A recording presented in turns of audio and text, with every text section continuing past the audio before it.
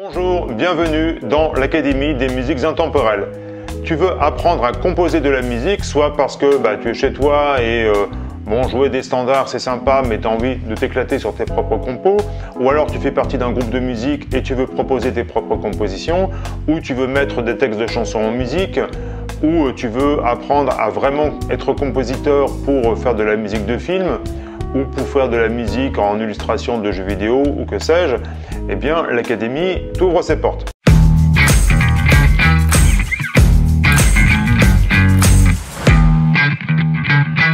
Je m'appelle Bertrand Carbonneau, je suis euh, multi-instrumentiste, professeur de musique, compositeur et également auteur-compositeur puisque je fais aussi beaucoup beaucoup de chansons.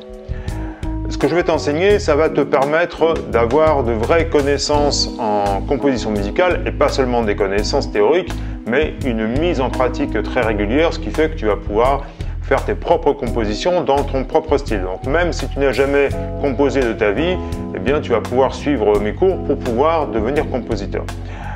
Alors, il y a quand même un prérequis. Si tu n'as jamais fait de musique de ta vie, ça va être un peu difficile à suivre.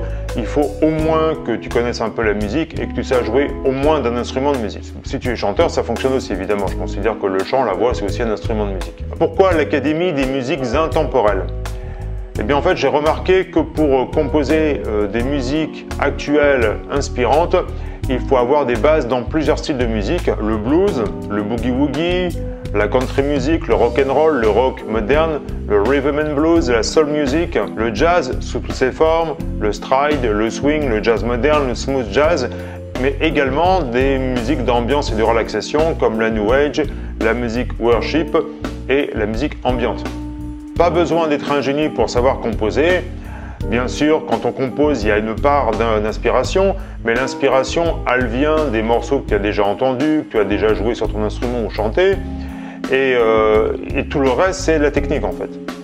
Euh, Beethoven disait euh, la composition, ou plutôt le génie, puisqu'on disait que c'était un génie, le génie en réalité c'est 10% d'inspiration, 90% de transpiration.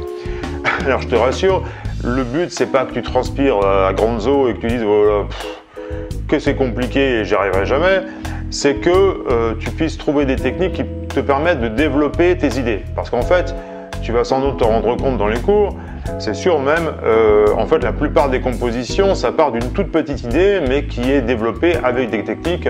Alors, il y a toujours une part forcément d'inspiration et de choix stylistiques, mais c'est quand même beaucoup de techniques qui te permettent de développer une idée et d'en faire de véritables compositions. D'accord? Donc c'est ça qu'on va voir dans les cours.